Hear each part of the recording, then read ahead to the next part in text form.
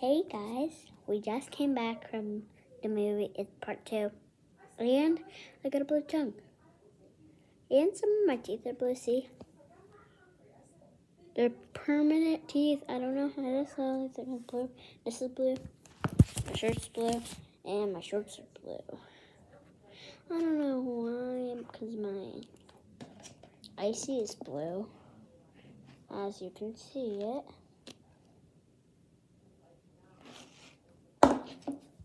Doesn't surprise me. But I know. Mm, I got this thing from Walmart a little bit a few days ago. But I'm not surprised my parents didn't buy it. So